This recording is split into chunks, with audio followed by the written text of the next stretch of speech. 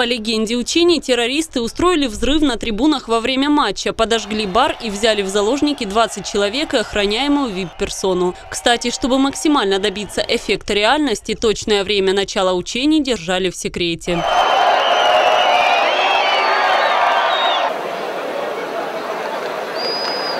Фанатов на пострадавших от взрыва трибунах изображали более тысячи студентов Донецкого юридического института и 300 стюартов Донбасс-арены. И сразу же после взрыва началась их эвакуация с четырех секторов, находящихся на разных уровнях стадиона.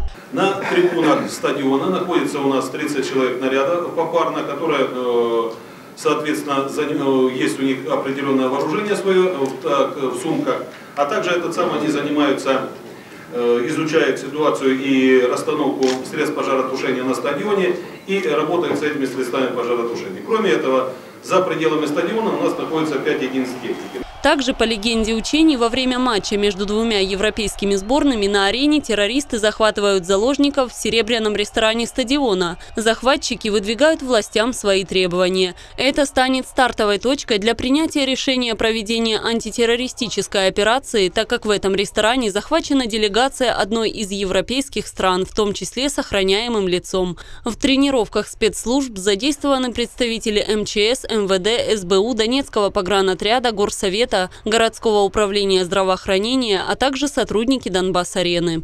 Кроме этого, по заданному учению у нас при панике, которая возникла, на лестничной клетке, которая расположена рядом с Серебряным баром, произошла давка.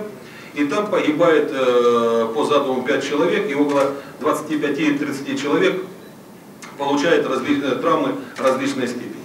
Личный состав МЧС то также выполняет задачи по эвакуации пострадавших из э, данной лестничной клетки. Когда улеглись эмоции первых таких крупномасштабных учений на Донбасс-арене, своими впечатлениями поделился начальник службы безопасности стадиона Сергей Бургела. Он отметил, что это была необходимая для всех подразделений арены тренировка. Эти учения помогли увидеть болевые точки на случай возникновения такой ситуации. Также Сергей Бургела подчеркнул, что в дальнейшем по плану предстоят ежеквартальные фронтальные учения такого масштаба с привлечением всех служб, отвечающих за безопасность проведения матчей.